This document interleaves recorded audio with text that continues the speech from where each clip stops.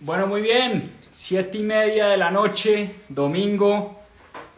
Uno de los mejores momentos de la semana para mí, por lo menos. Club de lectura, mis propias finanzas. Recuerden que todas las semanas estamos acá revisando buenos libros, historias de emprendedores, de empresarias, de países. Y hoy vamos a hablar de la historia del dinero, de la historia de una moneda, la historia de Bitcoin, conocida a través de este libro, El patrón Bitcoin, de Safedin Amus. Muchas gracias a los que ya se están conectando. Me confirman por favor cómo estamos de sonido antes de empezar. Buenas noches para todos. Puntuales como siempre, siete y media de la noche, los mejores planes de la semana, terminar la semana con toda, motivados, animados, leyendo estudiando y escuchando una buena historia eh, nuevamente. Muchas gracias. Por aquí me confirman que se está bien, se está escuchando bien, estamos bien de sonido. Para los que se están empezando a conectar, hoy vamos a ver la historia de Bitcoin, eh, conocida a través de este libro, El patrón Bitcoin de Safedin Amus. Eh, un gran libro, por cierto. Eh, ¿Y por qué escogí este libro para esta semana? Yo creo que por obvias razones. Pasaron muchas cosas esta semana. Primero, Bitcoin logró por primera vez una capitalización bursátil por encima del billón de dólares. Es decir, pasó, su precio se acercó creo que a los 52 o 53 mil dólares por moneda y eso le dio una capitalización bursátil por encima del billón de dólares, que era un hito que todos los bitcoiners de este mundo estaban esperando, eso lo primero. Segundo, el precio se, fue por allá casi a 58, 59 mil dólares y hoy o la última vez que lo revisé, eh, por última vez estaba, no sé, como en 44 mil dólares. Por aquí Guillo dice que trillón de dólares, una pequeña corrección en español es billón de dólares, en inglés es trillion dollars, es decir, un trillion en español es un billón y por eso en efecto Bitcoin llegó al trillion dollars de market cap, pero en español se dice que llegó al billón de dólares de capitalización bursátil. Bueno, muy bien, pues como siempre, muchas gracias por conectarse. Esa realmente es la razón por la que escogí este libro, que leí hace, hace un par, no sé, hace como año y medio, y lo volví a releer obviamente esta semana. Tomé bastantes notas para nuestra sesión de hoy. Y les voy a contar rápidamente eh, mi primera experiencia con Bitcoin. Fue por allá en el año 2000, 2016 tal vez, recién llegado de, del MBA, de la maestría, un amigo me metió en este cuento, me dijo, oiga, vea, usted ha oído de Bitcoin, por ahí pues algo había oído, pero nunca me había metido en el mundo, nunca había comprado un Bitcoin, ni mucho menos. Y compré como una especie de juego de saber qué pasaba y entender, pero eso terminó convirtiéndose en una inmersión profunda en la historia del dinero y en el estudio un poquito de la macroeconomía y tratar de entender realmente qué es lo que hay detrás de esta criptomoneda. Entonces, para mí Bitcoin, aparte de haber sido una de las mejores inversiones que he hecho en mi vida, por obvias razones, porque es la que más ha rentado sin duda en los últimos años, para mí más que eso, y, se los digo de todo corazón, lo más importante que me ha dado Bitcoin es una curiosidad intelectual enorme por entender qué hay detrás de esta criptomoneda, por entender un poquito más a profundidad la historia del dinero, la historia de la humanidad contada a través del dinero. Y yo creo que este libro hace y logra esto de manera espectacular, porque este libro no solo nos habla de las bondades de Bitcoin como criptomoneda, por obvias razones el autor de este libro es un pro Bitcoin eh, de hueso colorado, como dirían en México, pero además nos enseña y nos trae un viaje a través de la lectura del libro de la historia del dinero como la conocemos. Y el libro empieza con anécdotas eh, pues bastante curiosas, digamos, en el 2008, noviembre 01 del 2008, un anónimo que se hace llamar como Satoshi Nakamoto envía unos correos a un grupo de programadores y contándole a ese grupo que estaba trabajando en una red de pagos peer-to-peer, es decir, entre personas, y era una red de pagos que funcionaba a través de matemática computacional, de matemática criptográfica, y, y que a través de esa red se podía transar dinero entre personas sin la necesidad de un ente central, sin la necesidad de un banco central o un banco de confianza.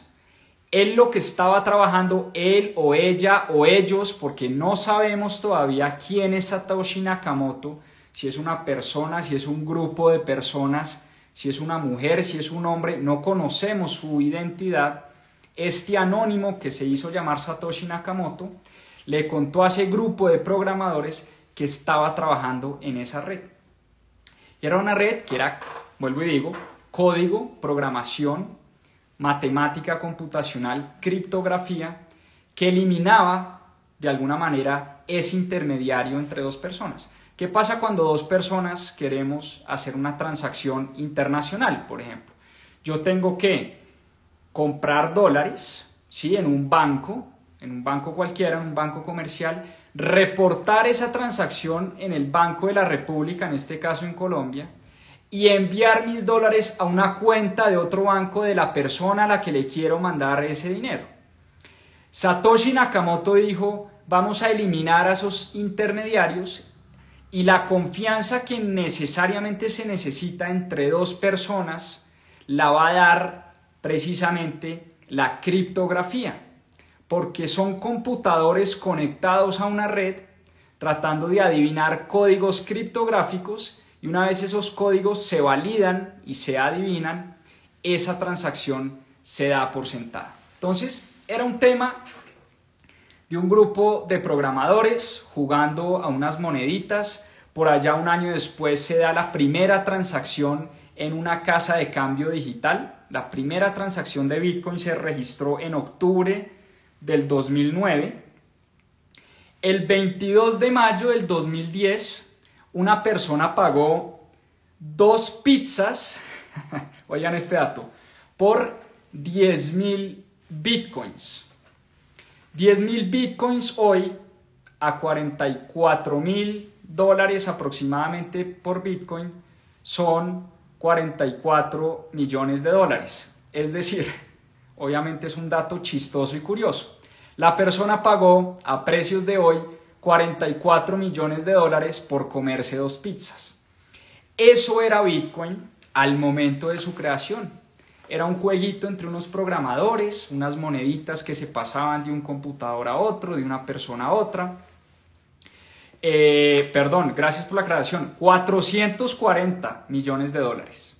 Sea, 10 mil monedas por 44 mil dólares, 440 millones de dólares. Eso era el jueguito de Bitcoin de esta red entre pares, donde nos podíamos pasar moneditas.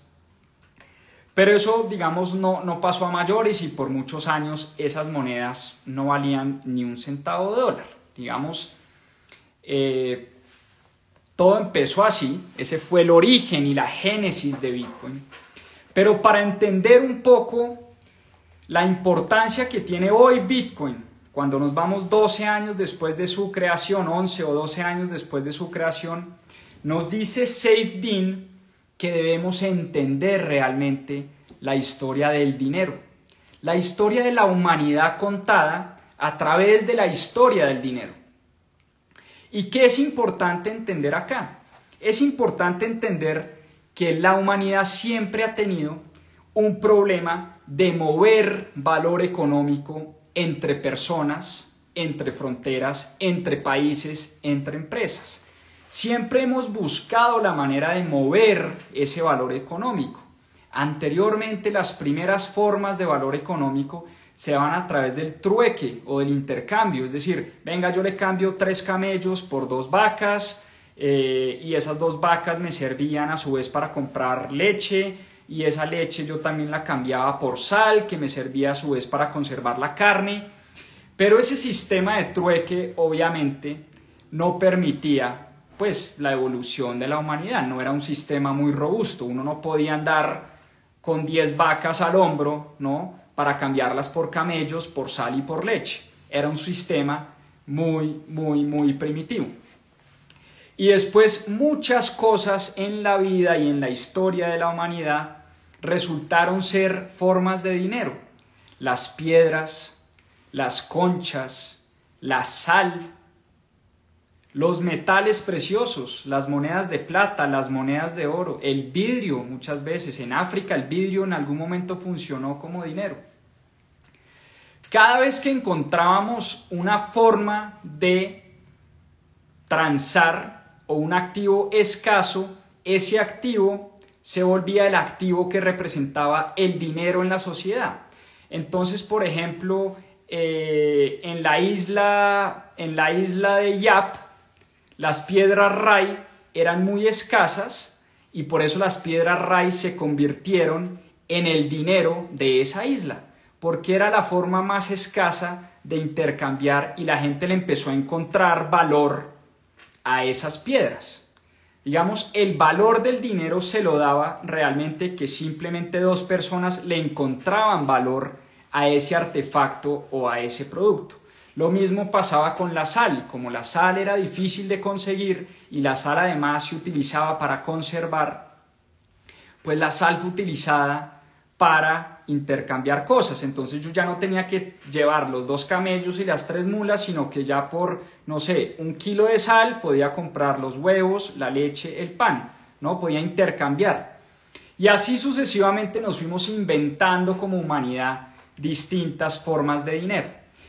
Y el dinero, para que sea buen dinero o para que sea dinero que sirva, tiene que tener dos características principales. ¿Cuáles son esas dos características principales? La primera, tiene que ser un medio de intercambio. Como les decía, tiene que ser un medio que me permita a mí cambiar cosas, comprar cosas. Y para que el dinero funcione como buen medio de intercambio, pues tiene que ser divisible, ¿no? tiene que ser portable y tiene que ser intercambiable.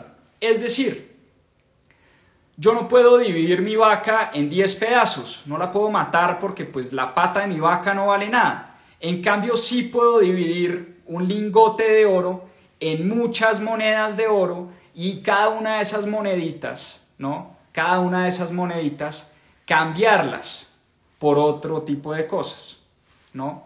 Entonces, el dinero tiene que ser divisible.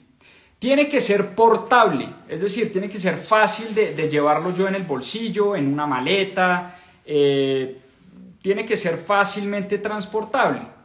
Por eso la sal, digamos, era portable, divisible, las vacas no. Las piedras ray eran, eran imposibles de portar, yo no me las podía transportar de una isla a otra, era muy complicado. Por eso la piedra como dinero, pues al final no terminó funcionando. Y por último, como les decía, tiene que ser intercambiable. Y el segundo aspecto fundamental para que el dinero funcione como dinero es que el dinero tiene que tener resguardo de valor. Para que el dinero sea resguardo de valor, es decir, para que yo esté incentivado a guardar mi valor y ahorrar en esa forma de dinero, ese dinero tiene que ser escaso por naturaleza.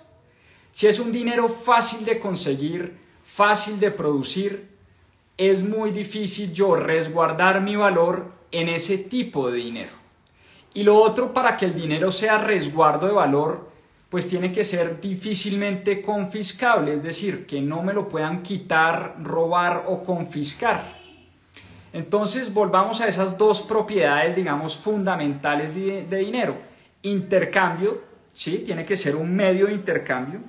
Tiene que ser resguardo de valor. Y digamos que una tercera característica importante también tiene que ser una unidad de cuenta. Tienen que ser cosas donde yo le pueda poner precio en ese elemento. Es decir, donde yo a esta chaqueta le pueda decir, esta chaqueta vale 20 dólares o 30 dólares o esta chaqueta o este libro o lo que sea tiene una unidad de cuenta, ¿no? Entonces, para que el dinero, vuelvo y digo, conserve su valor, es importantísimo que su oferta sea limitada, que producir ese, ese elemento sea difícil. Por eso es muy importante, es muy importante en las sociedades y SafeDean hace esta diferenciación importantísima entre dinero fuerte y dinero débil en las sociedades. Y da muchos ejemplos de hecho. Y para que el dinero sea fuerte, vuelvo y digo, tiene que ser escaso. Y hay una métrica que nos ayuda a entender, o por lo menos a explicar, qué tan fuerte es una moneda o qué tan fuerte es una forma de dinero en un país o en una sociedad. Y es el ratio de existencia y flujo. Entonces vamos por partes. ¿Qué es la existencia? La existencia es todo lo que existe de esa forma de dinero. Y el flujo es todo lo que se produce de ese tipo de dinero. Entonces vamos por partes. El oro, por ejemplo. El oro es la forma de dinero con la mayor con el mayor ratio, es decir, la mayor división de existencia flujo que existe hoy en día. En el mundo hay cerca de 200.000 toneladas de oro, es decir, se han minado cerca de 200.000 toneladas de oro a través de la historia y se producen o se minan, se sacan de la tierra 3.000 toneladas de oro todos los años. Por eso esa división, ese ratio entre lo que existe hoy y lo que se produce todos los años es tan elevado, cerca de 65 o 66 veces lo que existe hoy y lo que se produce todos los años. En otras palabras, yo me demoraría 66 años en producir lo que existe hoy de oro sobre la faz de la Tierra, digámoslo así, o lo que se ha producido históricamente de oro. ¿Y por qué este ratio de existencia-flujo es tan importante? Por una sencilla razón. Porque si la gente empieza a resguardar valor, por ejemplo, en petróleo, vámonos al caso del petróleo. Si mañana el petróleo se pone en 200 dólares, el barril de petróleo, todos los países y todos los productores de petróleo estarán incentivados a prender sus oleoductos, a producir más petróleo y por eso rápidamente la oferta de petróleo se va a elevar porque todo el mundo está incentivado a producir petróleo a un precio de 200 dólares. Pero rápidamente, como la oferta sube inesperadamente, va a haber una presión en ese precio, va a haber un exceso de oferta de petróleo y por eso ese precio de petróleo va a tender de 200 a 150 a 100 a 40 a 20 a 10, ¿no? Porque la oferta responde rápidamente a la demanda de ese bien en el que la gente está resguardando valor. Y esto ha pasado y por eso es tan apasionante el libro, porque no solo nos habla de Bitcoin, inclusive de Bitcoin nos habla solo hasta los últimos capítulos. Pero el libro hay, en el libro hay un montón de ejemplos, de historias, de cómo la gente empezó a resguardar valor y a resguardar su dinero en una forma de dinero que creían era escasa, pero rápidamente la producción de ese bien respondía a la alta demanda de ese dinero. Y hay una historia muy, muy, muy chévere y muy curiosa del libro, que es en efecto esa historia de las piedras Ray en la isla de Yap. La isla de Yap queda por allá cerca a, a Filipinas, y en la isla de Yap eh, no se producían estas piedras, de hecho se producían en otra isla cerquita, a unos, a unos par de kilómetros, se producían estas piedras y por eso unas piedras difíciles de conseguir, escasas, y por eso en la isla de Yap las piedras Ray se convirtieron en dinero, en resguardo de valor. La gente empezó a resguardar su valor, sus ahorros, si se quiere, en estas piedras. Y las piedras por mucho tiempo fueron escasas y la gente guardó su valor o guardó su dinero en este tipo de artefacto. Y hubo un, un, eh, un náufrago pues que por, por, cosas de la vida terminó en esa isla, ¿sí? Eh, un marino que naufragó y terminó en la isla de Yap y se dio cuenta rápidamente, un náufrago inglés, se dio cuenta rápidamente que la gente en esa isla utilizaba las piedras como resguardo de valor. Y lo que hizo este personaje fue en sus, en sus barcos, porque además, digamos, viajó después a Hong Kong y se trajo unos barcos con dinamita y se fue a la isla de Palau, dinamitó las piedras y llevó un montón de piedras a la isla de Yap. Cuando la, el, cuando la oferta de piedras en la isla de Yap incrementó de manera abrupta a causa de este señor David O'Keefe, pues las piedras dejaron de ser resguardo de valor, dejaron de ser dinero, por obvias razones. Cuando la isla se inundó de piedras, de piedras Ray, a causa de este señor que las dinamitó de la otra isla y las trajo a la isla de Yap, pues esas piedras perdieron valor abruptamente. Y lo mismo ha pasado con muchas formas de dinero a través de la historia. Nerón, uno de los emperadores romanos del año 53, si no estoy mal, después de Cristo, el año 64 después de Cristo, le tocó manejar una de las grandes crisis del imperio romano. Y Nerón lo que hizo fue devaluar la moneda, que era una moneda muy fuerte en Roma, una moneda en la cual los, los romanos habían resguardado su valor. Y lo que hizo este personaje, por cierto nefasto para el imperio romano, fue que devaluó su moneda, rápidamente la moneda en Roma perdió mucho valor, la gente, los que más sufrieron por obvias razones fueron eh, los que habían ahorrado en esa moneda eh, romana que ya no valía nada por culpa de este emperador que trató de solventar una crisis llenando el mercado de ese tipo de monedas y por obvias razones, cuando había una sobreoferta de esas monedas, esa moneda ya no valía nada. Historias como esas hay muchísimas en el libro. Está el caso del vidrio en África, de las piedras, de la sal, de la moneda en Roma.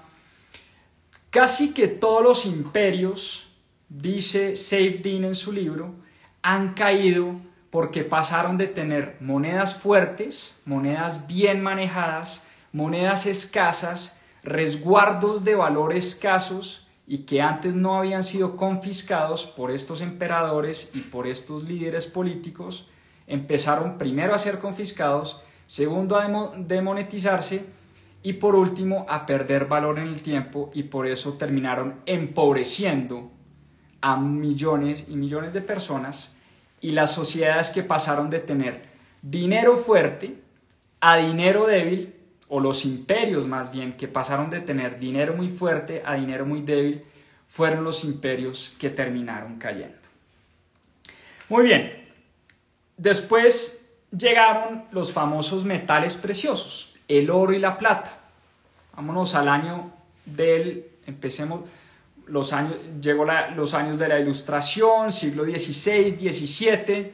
En Florencia, por ejemplo, se empezó, el Florencia tenía el florín como moneda fuerte y Florencia fue un lugar magnífico de desarrollo, de arte, de innovación, de grandes banqueros, eh, de dinero fuerte durante muchos años. Y muchas ciudades de Europa empezaron a copiar esta práctica del florín, esa práctica de dinero fuerte, dinero escaso, dinero que no se imprimía, de dinero donde la gente podía resguardar su valor. Y empieza esta de la ilustración, de las ideas, del imperio británico, de la revolución industrial, que Safedin lo llama en su libro la Belle Époque, la bella época, la época de la Pax Británica, del imperio británico esa época de 1870 a 1914, donde las grandes ciudades europeas entendieron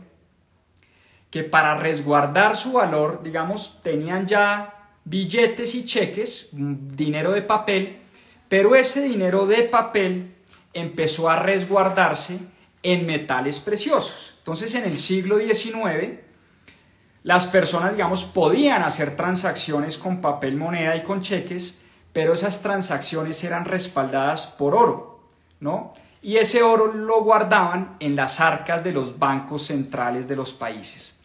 Esta época se conoce como la época del patrón oro o del gold standard en el mundo, donde los países del mundo, digamos, empezaron a emitir moneda local, pero esa moneda estaba resguardada por oro físico, oro real, metal precioso real, en las arcas de los bancos centrales. Y el oro terminó ganando esa batalla de dinero en el tiempo. Primero fueron las conchas, después las piedras, después la sal, los camellos, las vacas, eh, el florín, etcétera, etcétera. Y el oro termina ganándole la batalla al dinero fuerte. Es decir, la gente dijo, por fin encontramos una forma de dinero que cumple muchas de las características de las que ya hablamos, pero sobre todo el oro es difícil de minar. El oro es difícil de extraer de la tierra. El oro crece en promedio únicamente un 2% al año. Entonces vamos a poner un ejemplo. Hoy el oro está, qué sé yo, como en 1.700 o 1.800 dólares, el precio del oro. Si el oro mañana se va a 20.000 dólares, por decir cualquier cosa, no necesariamente mañana vamos a empezar a minar cantidades exorbitantes de oro. Vuelvo a lo mismo, porque minar oro es escaso, es difícil, es complicado. No muchas empresas lo hacen, no muchas personas saben hacerlo y se requiere de mucho tiempo y mucha mano de obra para extraer oro de la tierra, para minar oro. Por eso encontramos que el oro tiene esa razón de existencia flujo es la más alta de todas, ¿no? Es una existencia de 66 veces y vuelvo a lo que les dije hace poco. 66 años nos demoraríamos en minar todo el oro que hemos minado, todo el oro que existe en, en el mundo. Y por eso el oro ganó esa batalla. Y por eso los países empezaron a resguardar y a respaldar su dinero y su política monetaria en este metal precioso y esa época se llama la época del gold standard o del patrón oro. Y ya empezamos a ver un poco la relación que hay entre el patrón oro y el patrón Bitcoin, el título de este libro. Ya vamos a ir para allá. Esa Belle Époque, esa bella época de la Pax Británica, de las grandes innovaciones en Europa, de las grandes civilizaciones, de las innovaciones, del arte, de la música, de, del mundo relativamente en paz, se acabó en 1914 con la Primera Guerra Mundial. Y la Primera Guerra Mundial, dice Dean en su libro, no solo fue el resultado de situaciones geopolíticas entre países, sino el resultado de haber eliminado ¿no? Ese patrón oro.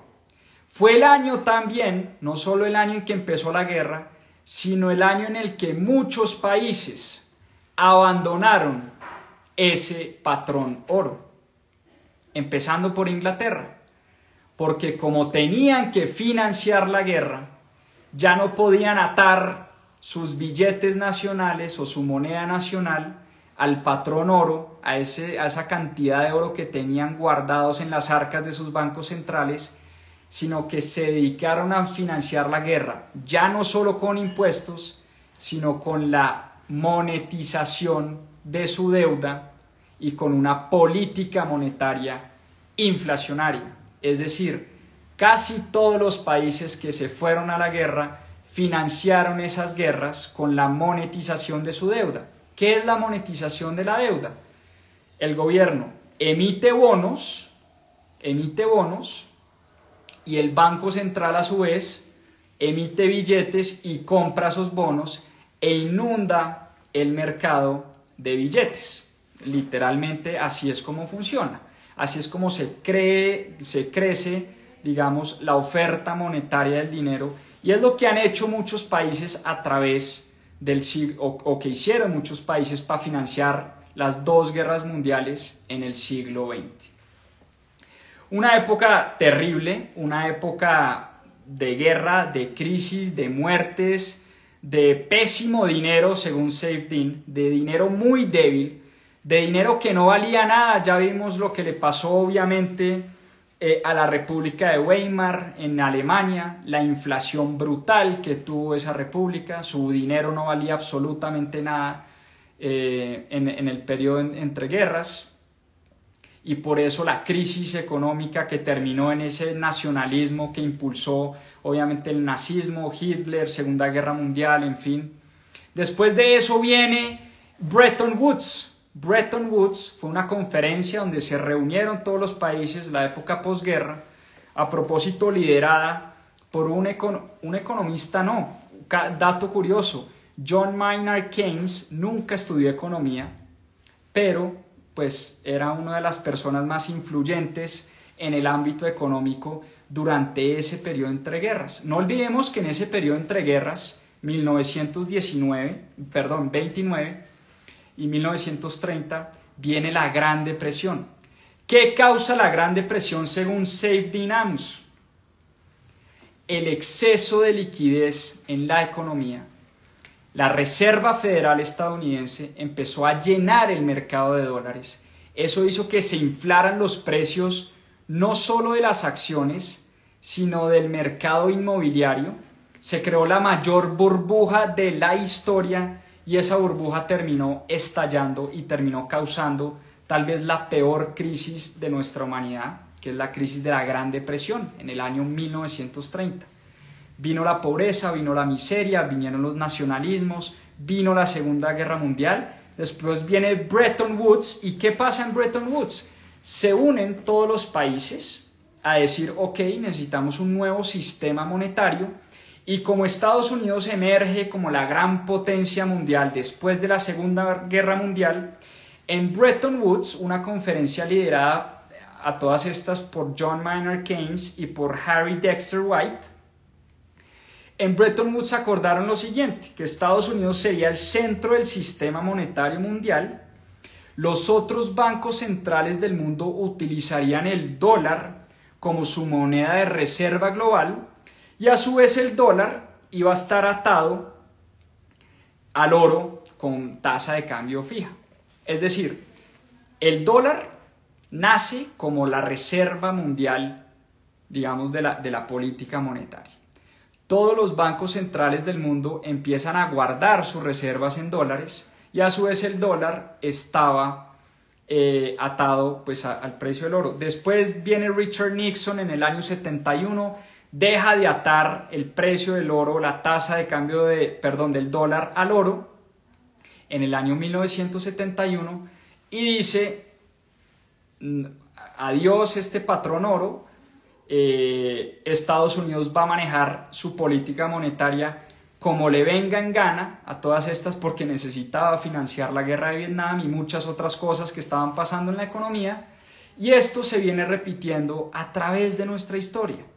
Cada vez que un gobernante necesita dinero, necesita financiar una guerra, necesita financiar infraestructura, hay una crisis económica, siempre tiende a echarle mano a la política monetaria del país. Es decir, trabajando de la mano con el Banco Central a imprimir, en este caso dólares, a imprimir yenes, a imprimir pesos colombianos, a imprimir bolívares venezolanos, etcétera, etcétera, etcétera. Cada vez que hay una crisis, cada vez que hay una guerra, los gobiernos se quedan sin plata, ya no pueden financiar las economías a través de impuestos y por eso le echan mano al dinero fácil. Y ese dinero fácil, dice Safe Dynamus, el autor de este libro, ha sido lo más nocivo que hay para nuestra sociedad, porque nos ha acostumbrado literalmente a que el dinero se consigue de manera, digamos, eh, nos acostumbramos al todo gratis, si se quiere. O como decía, o como decía, em, como decía el otro economista, ese sí economista y muy famoso de la escuela austriaca, Federico Hayek, decía lo siguiente, por aquí tengo la nota, que decía eh, Federico Hayek, si ustedes me perdonan, por aquí tengo la nota, la escuela austriaca. Friedrich Hayek y los economistas austriacos decían que el dinero más sólido y más fuerte es aquel que se escoge con libertad por la gente, que no les ha sido impuesto por ninguna autoridad coercitiva y cuyo valor se lo da la interacción en el mercado no a través de una imposición gubernamental. Por eso decía Hayek, Estados Unidos se acostumbró al dinero fácil, porque Estados Unidos se convirtió en la reserva global del mundo. El dólar americano se convirtió en la moneda reserva del mundo. Y por eso decía Hayek también que Estados Unidos se acostumbró a esos déficits sin lágrimas. ¿Qué quiere decir el déficit sin lágrimas? Estados Unidos ustedes ven cómo se endeuda y se endeuda y se endeuda y se endeuda, independientemente si es George Bush, Barack Obama, Donald Trump y ahora Joe Biden, siempre, siempre, siempre, siempre el déficit fiscal de Estados Unidos cada vez es más grande. El hueco fiscal de Estados Unidos cada vez es más alto. ¿Por qué? Porque Estados Unidos tiene la gran ventaja de que se puede endeudar por una razón muy sencilla. Los dólares siempre serán demandados. El dólar es la reserva global y monetaria del mundo. Por eso Hayek era tan crítico de John Maynard Keynes y esta política de que Keynes creía que lo que teníamos que hacer para impulsar las economías era promover el gasto, porque en la medida en que la gente gaste más, en la medida en que la gente se endeude más, va a haber mayor crecimiento económico.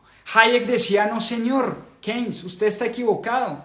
A la gente tenemos es que ponerla a ahorrar, acumular capital, a volverla más productiva. No le podemos regalar a la gente dinero fácil.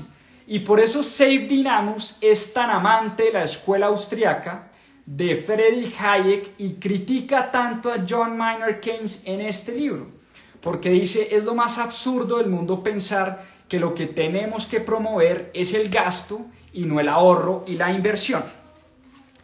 ¿Qué tiene que ver todo esto con Bitcoin? Vámonos muchos años después, cuando nace Bitcoin en el 2009. Dicen que toda revolución es hija de su tiempo. ¿Qué estaba pasando en el año 2009? En el año 2009 vivimos una de las 2008, perdón, Vivimos una de las peores crisis económicas de nuestros tiempos. Se quebró el sistema bancario, se quebró Lehman Brothers, se quebraron las aseguradoras. Estos bancos de inversión, estas aseguradoras que hicieron la trampa de las hipotecas subprime y empaquetaron un mundo de productos para vendérselos a su vez a los fondos de pensiones y a la gente, llamados los credit default swaps. Esa ese naipe que terminó colapsando y donde los que más perdieron fueron literalmente las personas de a pie que perdieron sus casas, sus ahorros eh, y su dinero, y a estos bancos y a estas aseguradoras y a estos bancos de inversión y a estas, eh, a estas entidades que se habían inventado esa trampa, las terminan salvando porque supuestamente eran demasiado grandes para fallar, decían los republicanos y los demócratas, les terminan inyectando 700 mil millones de dólares, digamos, a la economía en general y a muchos de estos bancos, para salvar la economía, un paquete de estímulo. Y en, esa, en ese contexto es que este anónimo, Satoshi Nakamoto, nace con este invento maravilloso, según este autor, llamado Bitcoin. Una red entre pares basado en tecnología en matemática computacional, que no depende de un ente central, no depende de la confianza que tengamos en ese ente central para transportar dinero, para hacer transacciones de dinero entre personas. Y lo que empezó como una red para transar dinero, terminó convirtiéndose, o dice Safe Dynamus, que va a terminar convirtiéndose en el mejor dinero posible, en el mejor resguardo de valor que podemos tener nosotros los seres humanos. ¿Qué es Bitcoin? Dice Safe Dynamus. Primero, es la moneda más fuerte jamás inventada. Por una razón muy sencilla. Su oferta tiene un tope. Su oferta es limitada. Nunca existirán más de 21 millones de bitcoins. Este anónimo, este genio o este grupo de genios se inventaron un sistema que, que por naturaleza es deflacionario, es decir, tiene una oferta limitada, solo van a existir 21 millones de bitcoins y ya está. Hasta el momento se han creado 18, como 18 y medio o casi 19 millones de bitcoins. Se esperan que se minen de aquí a los próximos 100 años los últimos dos o tres que faltan y ya está. Digamos, así fue que así es que está programado el sistema, así es que está programada la matemática del sistema y es un sistema descentralizado, es decir, cualquier persona con acceso a la red, con acceso a internet y con un computador puede verificar las transacciones que se están dando en la red Bitcoin en cada momento, todos los días, cada segundo. Y lo segundo, dice Safe Dynamus, es una alternativa a ese sistema de pagos que existe hoy de los bancos centrales, digamos, para liquidar esos bancos, esos, perdón, para liquidar esas transacciones entre personas y entre países, ya no se necesita de un banco central. Antes, como les digo, hoy en día lo que necesitamos es, si yo quiero dólares americanos, entonces tengo que ir a mi banco, coger pesos colombianos, coger la tasa de pesos dólares, cambiar mis pesos por dólares, registrar esa operación en el Banco de la República, mandar esos dólares a otro banco y que la persona a la que yo le estoy mandando esos dólares reciba esos dólares a través del banco. Con la red Bitcoin yo elimino todos esos intermediarios todos esos intermediarios. Y a través, vuelvo y digo, de tecnología y de matemática computacional, son códigos, son claves privadas que viajan en la red Bitcoin y una vez un computador descifra este código y valida esta transacción, se crea un nuevo bloque, que es lo que se llama el blockchain Bitcoin, un nuevo bloque en la red de Bitcoin y esa transacción ya nadie la puede reversar. Una vez que yo envío mi clave, mi clave y mi transacción de, qué sé yo, X bitcoins a una persona en Australia, si quiero, eso se demora un par de minutos y al cabo de un par de minutos ya no son míos dos bitcoins, sino son de la persona de, que está en Australia. Entonces, el oro había sido anteriormente el dinero más fuerte, pero de todas maneras el oro tiene unos problemas. Lo primero, su oferta crece todos los años. Crece poquito, pero crece. Hoy en día la oferta de oro crece cerca del 2% todos los años. Eso es lo primero. Lo segundo, el oro es difícil de transportar. O sea, yo no puedo andar con una maleta con lingotes de oro transportando oro de aquí a Estados Unidos o de aquí a Europa o de aquí a, China. El oro es muy difícil de transportar. Uno no anda con lingotes de oro por ahí, por la calle, transportando oro. Tercero, el oro es, si se quiere, eh, elitista por excelencia. El oro es el negocio de los millonarios del mundo, de los grandes bancos centrales, de los grandes millonarios, porque el oro es difícil de transportar, es poco seguro, es decir, yo para guardar oro, pues entonces necesito por allá una bóveda en Suiza y pagarle a alguien para que me cuide mis lingotes de oro. Y si hay, voy a ser muy exagerado, si hay una, qué sé yo, una tercera guerra mundial, ¿yo cómo hago para sacar por allá mis lingotes que tengo en Suiza?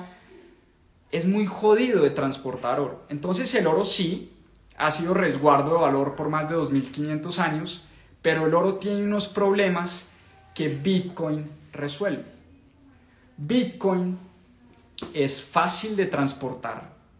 Yo puedo llevar mis bitcoins literalmente en una USB en mi bolsillo y viajar de Colombia a Estados Unidos y tener mis bitcoins en el bolsillo. Fácil de transportar. Es seguro, es de las redes más seguras que hay. La han tratado de hackear más de 6.000 veces, no han podido. Nadie ha podido retroceder una transacción de Bitcoin. Nadie ha podido robarse Bitcoins de, de alguien. Lo que pasa es que la gente confunde la seguridad de la red con la seguridad de los exchanges o de las plataformas que la gente utiliza para transar con bitcoins. Eso es algo muy distinto, aquí hay que hacer una aclaración muy grande. Una cosa es la seguridad de la red, esa red nunca ha sido hackeada. Otra cosa es yo mantener mis bitcoins o mis monedas en un exchange o en una plataforma de intercambio. Esa plataforma sí la pueden hackear. Porque esa plataforma si yo ingreso, qué sé yo, con mi correo y con una clave y con un sistema de autenticación. Pero si yo no sé guardar mis bitcoins, si yo no sé acumularlos, si yo no sé cómo funcionan, pues es muy probable que yo los pierda. Y por eso hemos oído las famosas historias de la persona que pierde su USB o que se le olvidó la clave o que le hackearon la cuenta o que le cogieron el computador y sabían su clave eh, de, qué sé yo, del correo, del email, pero eso no tiene nada que ver con la red Bitcoin como tal. La red Bitcoin como tal sí es una red muy segura. Y hay un tema eh, que tal vez es de los temas más importantes, más importantes que hay de la red, y es un tema que se llama el ajuste de dificultad. ¿Por qué Bitcoin es escaso y por qué cuando su precio sube no se producen más Bitcoins y hace que el precio eventualmente baje? Porque ¿qué pasa con cualquier moneda? Volvamos al principio. La gente empieza a usarla como resguardo de valor. ¿Qué pasa cuando la gente la usa como resguardo de valor? El precio sube. ¿Qué pasa cuando el precio sube? Hay un incentivo para producir más de esa moneda o de ese resguardo de valor. Cuando se produce más de ese resguardo de valor, aumenta la oferta y cuando aumenta la oferta, el precio cae y por eso el dinero termina no siendo resguardo de valor. Y la gente que resguardaba valor en esa moneda que se empieza a producir rápidamente, termina perdiendo su valor o perdiendo su dinero. En Bitcoin no pasa esto por una cosa que se llama el ajuste de dificultad. Y es parte de la genialidad de Satoshi Nakamoto de haber programado un sistema que en la medida en que más se demanda y más crece su precio, más difícil se hace validar esas transacciones en la red. Es decir, y les voy a leer literalmente lo que dice el libro sobre el ajuste de, el ajuste de dificultad. Dice el libro, página 232.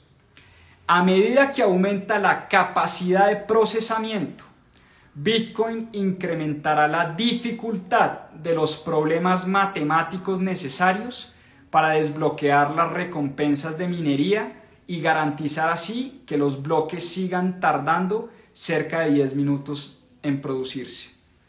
El ajuste de dificultad es lo que diferencia fundamentalmente al Bitcoin de cualquier otra moneda.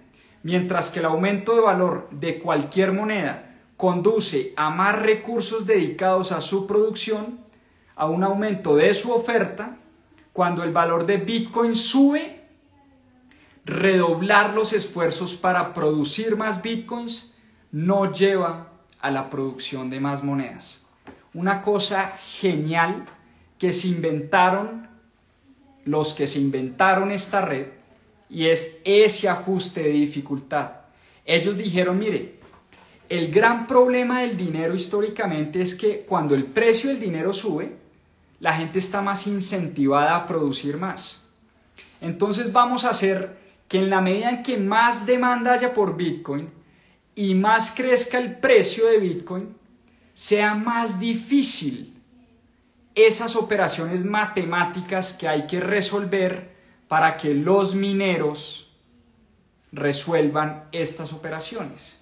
Por eso no solo la oferta de Bitcoin está limitada en 21 millones, sino que tiene a su vez un ajuste, un ajuste de dificultad que hace que se produzcan menos monedas cada vez.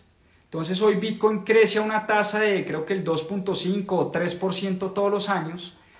Dentro de cuatro años, cuando se dé el proceso del halving, que no vamos a entrar en detalles técnicos, pero una vez se dé el proceso del halving, Bitcoin va a crecer, no sé, al 0.5 o al 1% todos los años. Y cuando lleguemos a 21 millones, va a crecer al 0%. Es decir, se dejarán de producir monedas y solo estarán en el mercado esas 21 monedas por las que está programada la red de Bitcoin. Muy bien. ¿Qué hace único a esta red? Primero, vuelvo y digo, es el dinero más fuerte jamás inventado. Es voluntario. Nadie nos está obligando a entrar en esto. Nadie, absolutamente nadie, nos está forzando a comprar bitcoins. Y lo que empezó como un jueguito de programadores, hoy ya tiene una capitalización bursátil de cerca de 800 millones de dólares. ¿Sí? 800 mil millones de dólares, perdón. 800 mil millones de dólares. Entonces, no es como si esto sea el, el, market cap o la capitalización bursátil del oro, creo que está en 9 o 10 billones. Es decir, la capitalización bursátil de, de Bitcoin con respecto al oro es como de un décimo, más o menos. Muchos dicen que poco a poco, en la medida en que la gente empiece a estudiar, a entender esta red, a estudiar lo que hay detrás y a darse cuenta de la maravilla tecnológica que tenemos enfrente, mucha gente va a empezar a guardar su valor, a guardar sus ahorros, ya no en dólares, ya no en pesos colombianos, ya no en soles peruanos, ya no en bolívares venezolanos, sino en bitcoins. Porque bitcoin tiene una oferta limitada, eso hace que el valor crezca todos los años y eso hace que nuestros ahorros suban todos los años. ¿Qué pasa si uno ahorra hoy en pesos colombianos en cuentas de ahorro o en dólares americanos en cuentas de ahorro en Estados Unidos? ¿Cuánto rentan esas cuentas de ahorro? ¿En cuánto están las tasas de interés que nos entregan esas cuentas de ahorro? Menos del 1% al año. Bitcoin ha crecido, qué sé yo, 20 millones por ciento en los últimos 10 años o desde su creación. Entonces la gente está empezando a ver en Bitcoin no solo una manera de especulación, y eso hay mucho sin duda, gente que se quiere hacer millonaria en un par de semanas y, y pues eso siempre existirá en los mercados y está bien. Y siempre existirá la gente que le guste jugar al casino con este tipo de cosas. Pero, pero hay mucha gente que está empezando a encontrar en Bitcoin un resguardo de valor. En un activo que crece todos los años y por eso es una forma de ahorrar al mediano o largo plazo. Y el valor se lo da el mercado, no se lo da otra cosa que el mercado. El valor se lo da la interacción entre personas que componen el mercado. El valor a Bitcoin no se lo da ningún gobierno, ningún estado, ningún banco central. Distinto al valor del dólar, que puede ser manipulado por la Reserva Federal.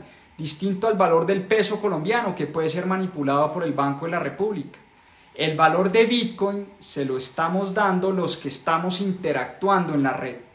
Yo hoy estoy dispuesto a vender un Bitcoin por 44 mil dólares y hay alguien por allá en otro lado del mundo que está dispuesto a comprar ese Bitcoin por 44 mil dólares. El valor de Bitcoin se lo da al mercado y no se lo da ningún ente central. ¿Y para qué es bueno Bitcoin? Para resguardar valor, dice Safe, Safe Dynamus. Primero y, y principalmente para resguardar valor. Segundo, es una alternativa a los bancos centrales. Vuelvo y repito, es una alternativa que nos permite transferir valor entre países. Hoy en día es muy complicado pasar unos pesos o unos dólares a Estados Unidos, o, no muy complicado, simplemente toma tiempo, hay que pagar unos fees, es demorado, etcétera, etcétera. Hoy en día, con el uso de tecnología, al cabo de 10 minutos yo puedo ya transferir ese valor. Y es el primer sistema monetario en la historia de la humanidad digital además, con el uso de tecnología, que no requiere de eso, de un ente central o de un banco central. Y por eso muchas empresas hoy, ya hemos visto el caso de Square, de MicroStrategy, de Tesla, de compañías que tienen caja en su balance, que la tenían en bonos del Tesoro americano rentando el nada por ciento anual, y una persona como Michael Saylor, que es el CEO de MicroStrategy, dijo, oiga, yo veo un activo que viene creciendo a tasas del 200 o 300% en los últimos 5 o 6 años, y tengo 500 millones de dólares de caja de mi compañía atrapada en bonos del Tesoro americano que hoy en día con tasas de interés del 0% pues no rentan prácticamente nada. Por eso, Michael Saylor, un CEO de una compañía pública que cotiza en bolsa llamada MicroStrategy, decidió coger esa plata y meterla, meter la caja de su compañía en este activo. Y muchas otras personas están empezando a hacer esto. La plata fácil, dice Save Dynamus, es lo más nocivo que hay para una sociedad. La plata fácil incentiva el gasto y el endeudamiento. ¿Qué está pasando hoy en día? A la economía le han inyectado a, raíz de la pandemia más de 6 billones de dólares. A la gente le están llegando cheques a sus casas, en el caso de Estados Unidos, lo llamado el helicopter money o la, digamos, la moneda de helicóptero, es como si un helicóptero estuviera botando billetes, es, eh, por eso la analogía. A la gente le están llegando cheques a sus casas, al mercado lo están inundando de dólares, que literalmente los imprime la Reserva Federal. ¿Y cómo los imprime? Monetizando la deuda del gobierno. El gobierno emite bonos y la Reserva Federal compra esos bonos y con qué los compra? Con dólares y esos dólares terminan permeados en el mercado. Y por eso los activos inmobiliarios están en altos históricos, por eso las acciones están en altos históricos, por eso los bonos no rentan nada, porque la gente, obviamente, las tasas están en, prácticamente en cero, los bonos corporativos y los bonos del tesoro no rentan nada, y los inversionistas están buscando las rentabilidades en el mercado accionario. El dinero fácil es muy nocivo, nos impulsa, dice Safe Dynamus, a gastar y a endeudarnos. Por eso estamos llegando a niveles históricos de endeudamiento a nivel personas, a nivel empresas y a nivel país. Y obviamente esto no va a tender a parar porque estamos llenando las economías de dinero fácil, dice Safe Dynamus. El dinero fuerte, el dinero basado en tecnología computacional, el dinero que promete Bitcoin es un dinero que nos incentiva a ahorrar, a resguardar valor. En la medida en que yo ahorro, yo acumulo capital, en la medida en que acumulo capital puedo invertir, en la medida en que invierto me vuelvo más productivo y así es como crecen las economías, dirían los austriacos. No como diría John Maynard Keynes, que es imprimamos dinero, bajemos las tasas de interés, hagamos que la gente le quede fácil endeudarse, barato endeudarse, y hagamos que la gente, las empresas y los países gasten, porque en la medida en que hay gasto, hay más crecimiento económico. Son dos visiones que literalmente han marcado la manera como se manejan los países en el mundo. Keynes contra Hayek. Yo creo que este puede ser un buen libro para club de lectura próximamente el debate o el choque que definió la economía moderna. Un librazo también, y uno aquí entiende las dos políticas económicas y monetarias que han definido la política monetaria de los últimos o del último siglo y medio. Keynes contra Hayek. Obviamente Safe Dynamus es hayekiano a más no poder, es austriaco a más no poder, y por obvias razones creen Bitcoin. En conclusión, ya para cerrar, Bitcoin es una solución tecnológica y apolítica que soluciona el problema del dinero. Dos, es el dinero fuerte creado en los últimos 10 o 12 años y reemplazará, reemplazará el oro como resguardo de valor. Tres, Sirve para transferencias de valor internacionales. 4. Fomenta el ahorro. 5. Es la mayor demostración de dinero fuerte. Y 6. Su valor se lo da el mercado libre. No necesita de un, ente, de un ente controlador. Ahí lo tienen. El patrón Bitcoin. Saving Amos. Me pasé un par de minuticos pero un tema demasiado, demasiado apasionante. Vuelvo y les digo yo por qué entré en Bitcoin. Entré en Bitcoin como un juego. Literalmente un amigo me dijo, compre esta moneda que es una berraquera y vea cómo sube de valor. Pero aparte de eso, resultó ser una manera fantástica y fascinante de meterme a entender esta historia del dinero. Esta historia contada a través de este y muchos otros libros el patrón Bitcoin es uno, Keynes contra Hayek es otro, este de Neil Ferguson, The Ascent of Money, una historia financiera del mundo, fascinante historia del dinero. Literalmente lo que hizo conmigo Bitcoin fue no solo aumentar mi patrimonio, sino que desarrolló y despertó en mí una curiosidad intelectual inmensa, inmensa por la historia del dinero, inmensa por la macroeconomía. Espero que este libro les ayude a entender muy bien qué hay detrás de Bitcoin, qué hay detrás de este patrón Bitcoin que está promoviendo el autor Save Dynamics. Y por último voy a cerrar, lo puse en las historias, pero vale la pena repetirlo, con una de mis partes favoritas de este libro. Dice así, Solo con un alto grado de conocimiento y solo tras un amplio y arduo estudio sobre los aspectos prácticos y operacionales de usar y poseer bitcoins, debería considerarse la posibilidad de depositar valor en esta criptomoneda. Deberías invertir tiempo en intentar comprender cómo comprarlos, guardarlos y poseerlos de forma segura. El carácter intrínseco de Bitcoin hace que este tipo de conocimiento no pueda delegarse o subcontratarse.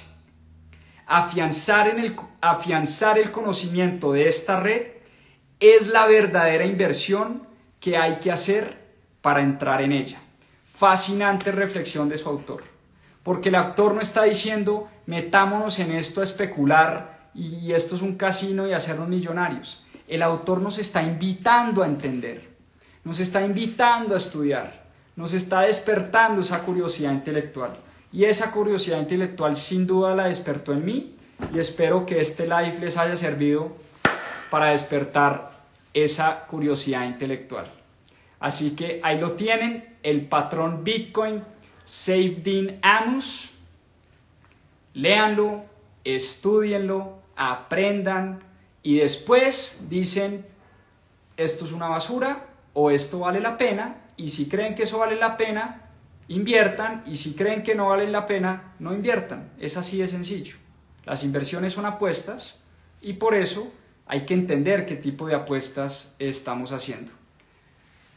Una feliz noche, ojalá les haya gustado este live de domingo. La otra semana les tengo una historia muy bonita un libro muy bonito de Banerjee y Duflo, Repensar la pobreza.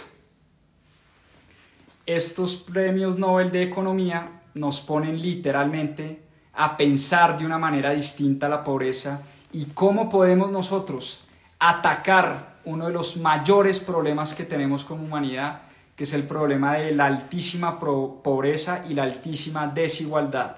Nos vemos el otro domingo, siete y media de la noche, con Repensar la Pobreza de Banerjee y Duflo, ganadores del Premio Nobel de Economía.